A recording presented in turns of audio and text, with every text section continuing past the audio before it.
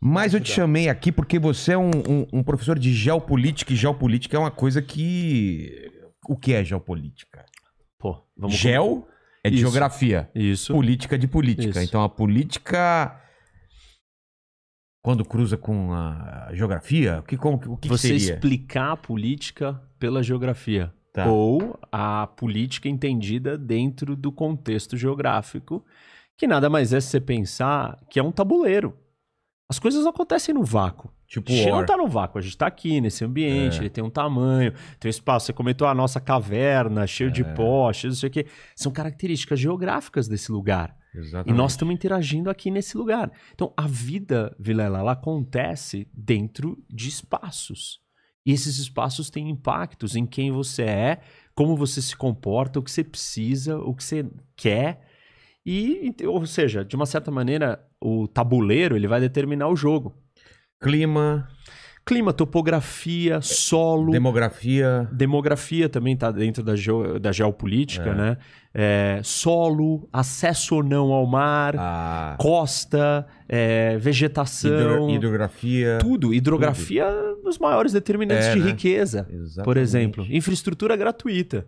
Em vez de você construir uma estrada, uma ferrovia, botar caminhão, asfaltar, limpar, você ganhou um rio navegável é barato. de graça. Não. Deus, o universo, É. a vida, o seu país está ali abençoado, porque você tem aquele rio. E saída pro mar também, né? Saída para o mar também, tanto que os países sem saída para o mar, os landlocked countries, né, os países sem saída para o mar são os países mais pobres, Exatamente. tirando aqueles que têm vizinhos riquíssimos, como a Suíça. Ah, verdade. Que aí o vizinho é França, Alemanha, É, Itália. Aí ela tá no centro, no coração de um continente super rico que é a Europa. Então, quer dizer, o país sem saída para o mar, ele depende muito do seu entorno. Mais ainda. Caramba, Porque ele não é acessa verdade. as rotas do mundo. Só por, só por avião ele consegue sair sem depender Só por avião. E aí todo mundo fala assim: ah, mas, Reni, qual a diferença do avião? Pô, A diferença. Exato. Mas ninguém se, ninguém se toca que 95% de todo o comércio internacional é feito via mar. É. Navegação marítima. As rotas de navegação marítima são as artérias do mundo. Caramba. E- ou seja, a economia depende disso, globalização depende disso. Esse é um elemento, mas você começa a pensar em tudo, até aquelas coisas populares que a gente está acostumado a ouvir, é, como a questão do clima. É. Então, por exemplo, você tá sol, um dia lindo, Rio de Janeiro. Você vai ficar em casa sentado lendo Nietzsche ou você vai pra praia? É. Entendeu? Culturas diferentes Os vão caras estão no surgir. meio do gelo, né? Isso, o cara tá lá, assim, a- a- a- A noite é longa pra caramba. o entretenimento, o estilo de vida, a- as prioridades mudam, o ambiente te muda. Você tem um dia maravilhoso, é só você olhar pro, pro sul da Europa, É. para os países do Mediterrâneo, Itália, Grécia. Espanha, Grécia, eles não são iguais os suecos, holandeses, alemães, não são. É outra cultura. E assim, ilha, ilha também é uma coisa Também. singular também, né? ele é um outro mundo. É, Japão, Austrália, Inglaterra. tem todas. uma- E É. todas desenvolvidas. Assim, É. claro, tem ilhas menores e mais pobres, e- porque tem Cuba, outras condições é. geográficas que você tem que observar. As pessoas pegam uma dessas coisas e ficam falando: ah, mas você não falou que aquilo era sei lá o quê? Não, a gente tem que combinar todas. Vamos combinar solo, clima, seu vizinho, sua posição. É. Seu vizinho é quem? É o Afeganistão ou seu vizinho é a Suíça? Vai fazer toda a diferença qual tipo de problema você vai ter. Ser vizinho da Exatamente. Somália ou ser vizinho do Uruguai? Ou ser vizinho da Venezuela? Entendeu? O lugar que você tá também vai afetar quem você vai ser. Com certeza. Porque são quem tá do seu lado, quem são suas companhias, os problemas que vão surgir dali. É, montanha e- ou, ou o clima, né? O clima não, a topografia plana ou uma ilha. Você tem culturas diferentes. Por exemplo, países eh, de- eh, que são ilhas, você tem mais fluxo de comércio. É. Então você tem mais trocas. Então tendem a ser sociedades mais abertas. Mas, por exemplo, a Oceania, ela é meio afastada de todo mundo ou não tem nada a Isso, ver? tem a- ela tá afastada. A questão da distância é, É. um fator. Mas por ela ser, é, vai, é, uma, um lugar que tem acesso ao mar fácil, ela não é igual uma cultura de um país como o Irã É. ou como o Afeganistão. Porque é montanhoso e aí você preserva identidades antigas e as pessoas não se misturam. Então esses lugares tendem a ter é, menos unidade Quais, por exemplo? O- Montanhosos. Ah, montanhosos. Porque você não misturou, entendeu? Tem alguém Ainda tá- vivendo numa montanha de lá, outro na daqui. Clãs, tribos. Isso, clãs, Caramba. tribos, identidades preservadas muito mais conservadores. Então, assim, é, é, é muito complexo, é muito interessante, porque a gente não, não olha com, com essa lente, né? A gente não enxerga o mundo desse É, jeito. porque a tendência da gente é analisar tudo a, a partir da nossa cultura, da nossa geografia, e da nossa visão. E- e- Ah, é óbvio que o pessoal que mora lá no frio odeia o frio e não e quer vir pra cá e não necessariamente é isso. Ou por que que os caras se vestem dos pés à cabeça? Por que que eles cobrem as mulheres? Porque a gente não consegue entender certas coisas, né? Não, é muito distante pra gente. E você não consegue é, olhar uma coisa que você acha que é básica. Você fala, não, para, vegetação, É. clima vai afetar um país? Opa, Ah, também terremoto, é, essas Tudo. coisas, né? claro, É, todos os fenômenos naturais. tornado, é. Então, por exemplo, é, olha a questão do desenvolvimento econômico. Não existe no mundo países desenvolvidos Tá. ainda que sejam tropicais. Não tem nenhum. Não, você tem três pequenas ilhas que são exceções. Aí Tá. todo mundo já fala, ah, Austrália. Depois eu mostro aqui. A pontinha de cima É, da Austrália Austrália, não é tropical, não, né? é que tá na parte tropical. O resto não. É. Você tem é, Tropical Taiwan. seria ser entre, entre os trópicos, né? Essa Isso, faixa. O clima tropical. Por Tá. quê? É um lugar cheio de doenças. Você fala, Ah. ah, a doença não é importante. Agora que nós estamos no meio da pandemia, todo mundo entendeu o impacto que uma doença tem no desenvolvimento, na riqueza, na, no- na catástrofe que pode acontecer.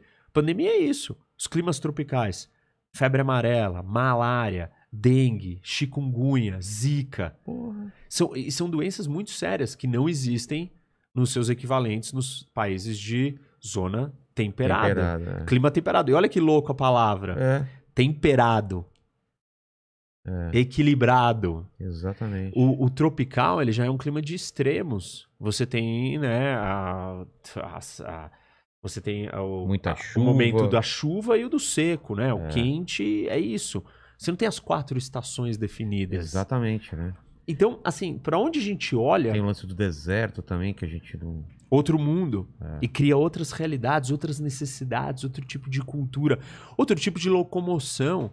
Mas quando você se debruça no estudo, você estuda regiões, países, porque aí você tem. Porque às vezes o país ele tá contido numa região muito mais larga do que ele, né? Mais Sim. ampla do que ele. Você tem que olhar pra região. Por exemplo, o, o- a África, pô, só a África, quantas regiões diferentes, muito Muitas. diferentes entre si tem? Mas você tem duas grandes. A do Saara que é em que é cima, do norte da norte, África, né? e o resto que é a África subsaariana. Isso. E é essa parte da África que é a parte tropical e que Mais é. pobre. né? Mas a, a do, não que a do norte seja muito rica e muito fácil também. É. Mas são dois mundos diferentes. E, e- e tem coisas que são é, obstáculos ou barreiras geográficas intransponíveis. Por exemplo, na América do Sul, nós temos a Cordilheira dos Andes de um lado, É. que é a maior, a cadeia de montanhas mais longa e a mais alta cadeia depois da, do, Himalaia. E você tem a floresta amazônica. É. Então, a América do Sul é um continente impossível de você transpor e acessar os dois lados. Caramba. Diferente da América do Norte, aonde um país, os Estados Unidos, tem acesso para duas costas, Exatamente. num território plano, de fácil acesso, com uma vegetação fácil. Aliás, com uma riqueza de solo absurda e com um rio navegável colocado exatamente em cima da área da terra arável mais maior contígua do mundo, que é o rio Mississippi. Exatamente. E aí você fala assim: não, mas a gente não tem rios. Ó, temos o Amazonas. Mas tá onde? Lá no Amazonas. Que é uma Amazonas. área de difícil É. acesso, de difícil é, vivência para o ser gente tem rio humano. pra caramba, não tem? Paraná, Todos esses rios nossos do sul, onde que eles desembocam? no delta lá do, do, do Buenos Aires, lá, né? Isso. Como chama? Delta Bacia do Prata. Bacia do Prata, E o exatamente. que, que acontece? O Brasil nunca conseguiu usar esses rios porque você ia estar atrelado economicamente aonde ele chega no mar, É. que é a Argentina. Putz, é Então, verdade. esses estados do sul acabariam criando uma dependência de identidade via economia e eles poderiam estar muito mais politicamente alinhados com a Argentina do que com o Brasil. É, É, só pensar nas histórias das guerras do Brasil. Foram pelo quê?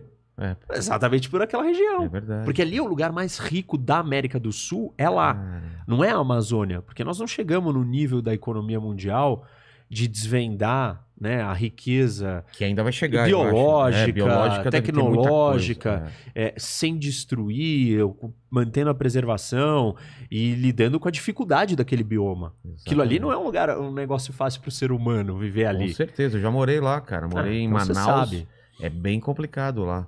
Tudo. É- é Mas, por exemplo, muito Manaus. calor. Como é que você chega em Manaus? É, só de avião Então- ou de rio e, cara, Isso. é complicado, né? A Transamazônica, não sei como tá hoje em dia. É. É, Percebe? Esses, esses obstáculos, eles são muito básicos, muito fundamentais. E as pessoas não dão importância para isso. Elas falam, não, é, é a cultura. Aí elas não pensam que a cultura foi influenciada pelo ambiente que você tá. É.